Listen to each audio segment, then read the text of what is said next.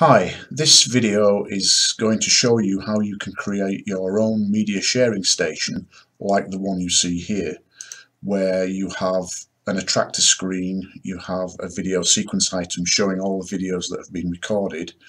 Um, it also works with photos as well. It will include a media browser screen um, where the users can pick their videos and photos for uh, scanning with QR codes on the show video and show photo screens. So I'm going to start from scratch with this and show you how you can design it. So I'm going to create a sharing station event. Now that can only be done in Rightbooth version 7.7 or newer. So if you've got a, an older version of Rightbooth, you'll need to get the latest version off the website.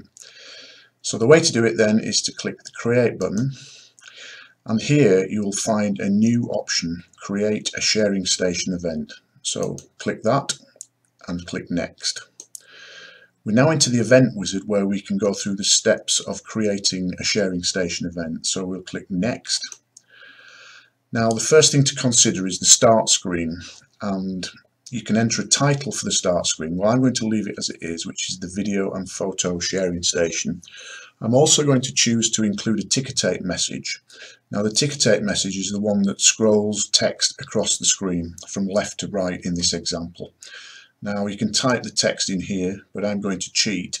I've got it already written out here, so let me highlight this, edit copy, back over here, right click, paste. So I've got three lines of ticker tape text which will scroll on one after the other. I'm also going to include a video sequence on the start screen. Now the video sequence is a sequence item which will show all the videos from the watch folder for this event. So every time a new video appears it will be displayed on the start screen in a scrolling list. Uh, you can also include photo sequences as well if you wish but I'm not going to do it for this example click next. Now as well as sharing videos and photos by QR codes which is primarily what the sharing station does. You can also use the station for printing photos using particular print templates. Uh, so I'll, I'll do that this time so you can see what happens. So I'm going to ask the user whether they want to be able to print their photos or not. Now when you choose to include printing you've got to obviously include a printer. I'm going to pick my Canon here and then I'm going to choose a photo layout from the media library. So let's click this button. There are lots of print layouts to choose from. I'm going to pick this one here because we're dealing with single photos on a sharing station. Let's click OK. So if they do choose to print photos each photo will be printed out on this print template. Let's click next. We're now being asked if we want to include the thank you screen, so I may as well do that. Click Next. We can now choose a background for the design of the sharing station. You can choose a colour or an image or a video as a background. I'm going to choose an image. It takes us to the media library where all the uh, background images are and in this example I'm going to choose this one. Next. It's now suggesting a particular button style for use with this background. Now I'm not too happy about that one so I'm going to change the style of the buttons. I'm going to go for a square outline white. Now with a square outline it means that the icons are the wrong colour really so I'm going to change the icon colour to outlined white or lined white. That's better. Let's click next. Uh, you can also change the fonts for all the prompts in the sharing station. So I'm going to stick with the example, which is uh, this, this font here. There's lots of different fonts to choose from. Let's go for next. And I'm going to use English prompts throughout the sharing station event. Let's click next. So that's the wizard completed. I just have to click continue to create the actual event itself. Let's do that now.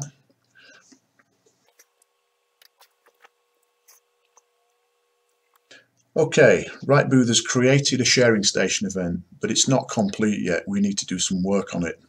Let's go and have a look at what it's done. Well, first of all, it's named it as Event 18. Now I really want to change that so I'm going to save this first of all. I'm going to save it as I'm going to call it sharing station 1. Now as you can see here I've already got a sharing station. Uh, is the one I created earlier but I'm going to create a new one here and, and save it as sharing station 1. So let's do that. There we go. Now before I carry on editing this event I just want to explain about the watch folder. So a sharing station watches a particular folder on your computer for the um, for the arrival of videos and photos. Now when you create your sharing station event to begin with the watch folder will not have any videos in it usually.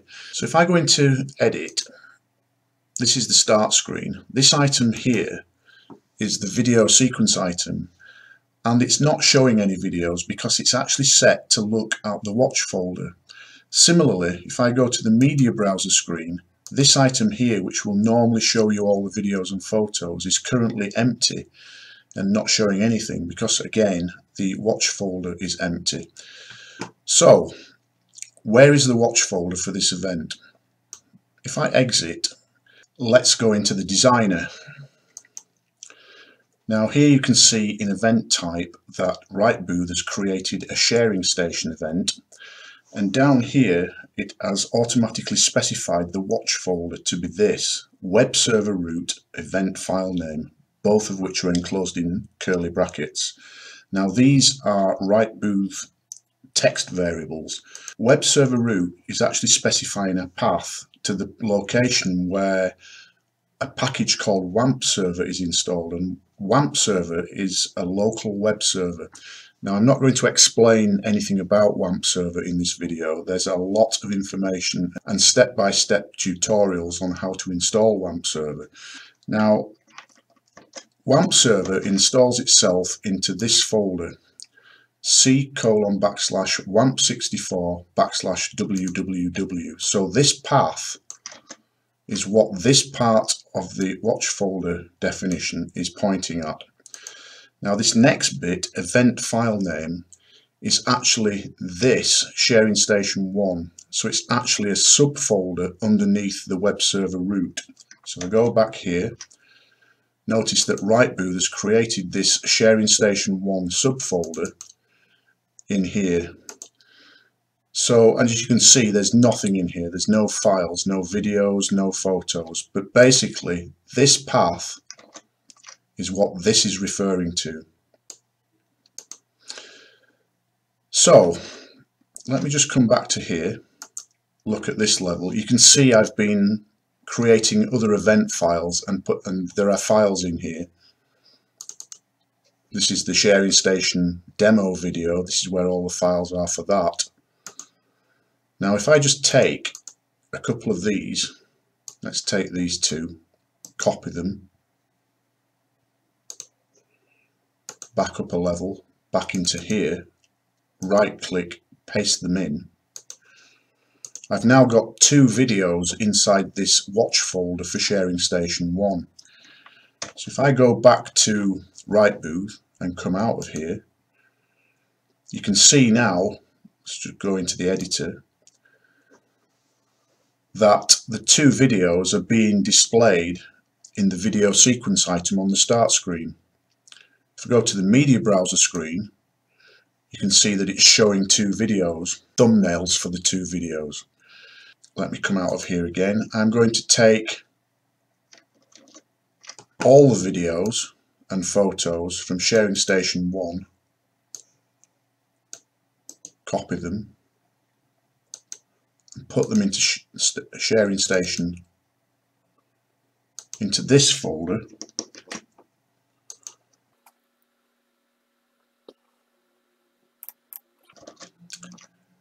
back into here we should now have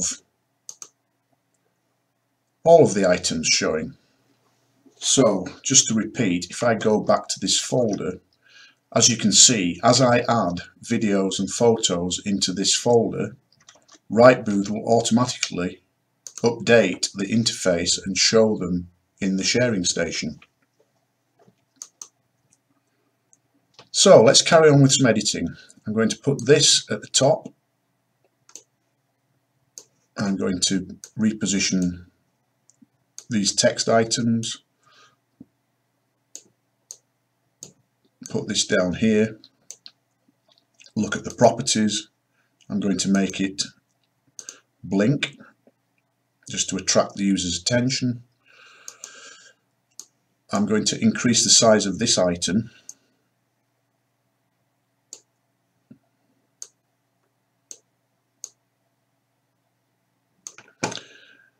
Let's have a look at the properties for this item. I'm going to fade the edges.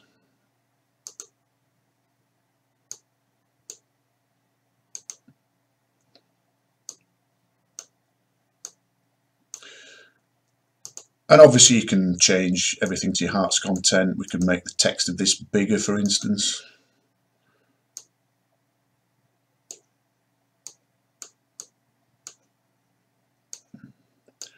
Could change the colour of this to say yellow.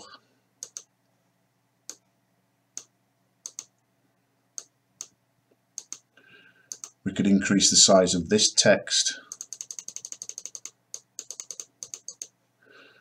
We could give it a gradient fill, maybe change that colour and that colour, and so on.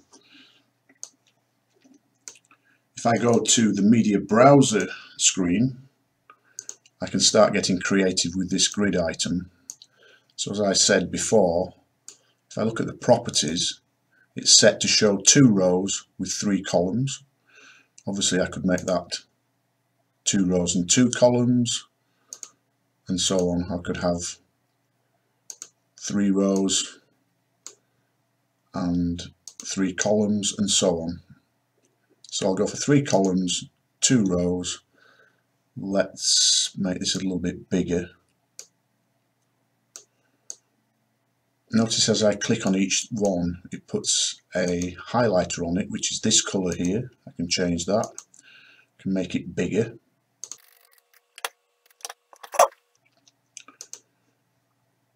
It's probably a bit big. Let's make it 10. We can make the gap bigger between them.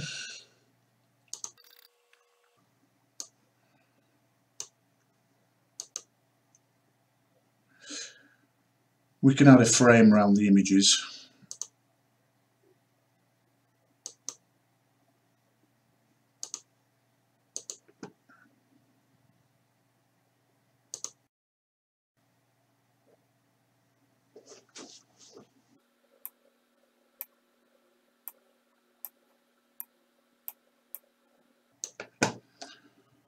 On the show video screen let's have a look at this. If I double click it you can see that it's set to be a connect to Wi-Fi code.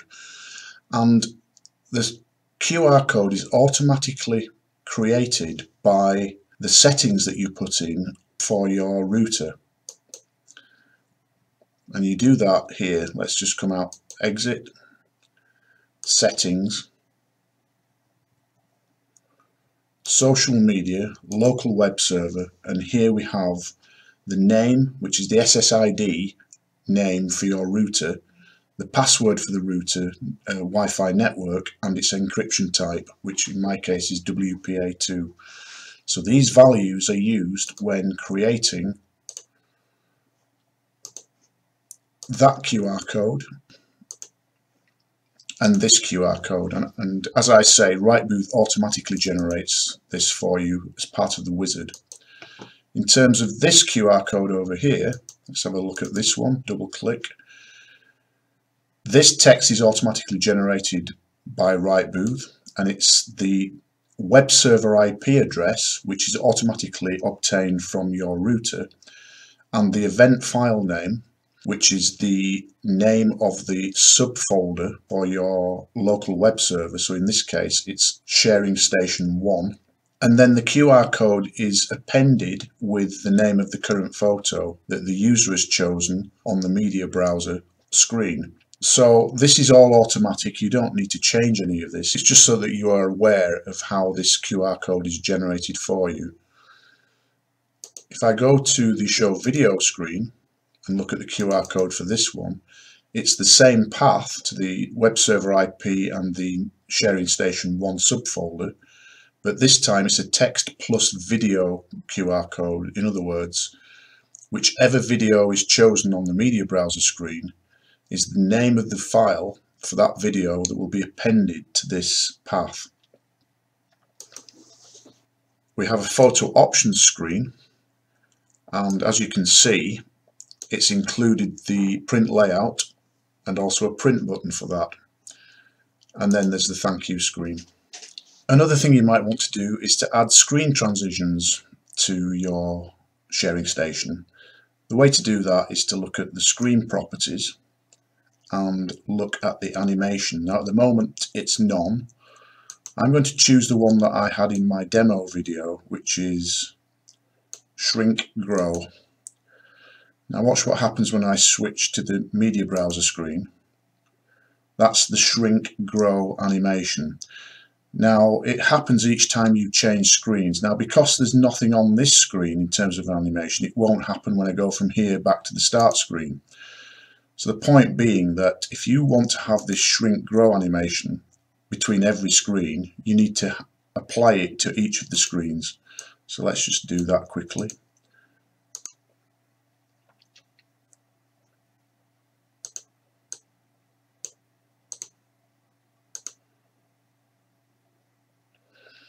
And you could have a different one here for instance.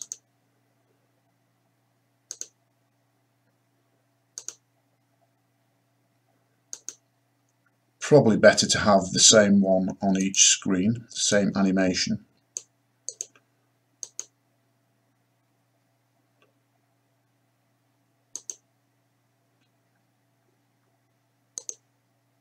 and finally on the thank you screen. And that's it, I think. Let's have a look. Let's check they're all the same.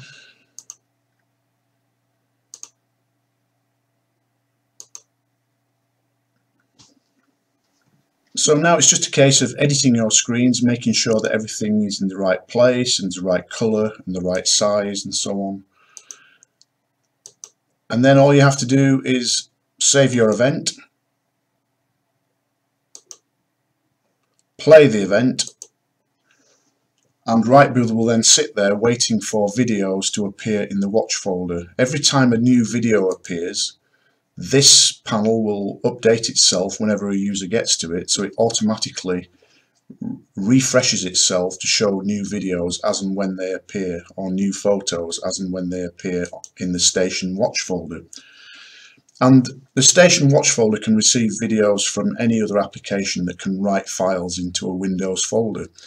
That can be Rightbooth itself using a Rightbooth video recording event or it could be from some other application that can send or copy files from one place to another on your computer. So I hope all this helps you to get going with your Rightbooth sharing station event.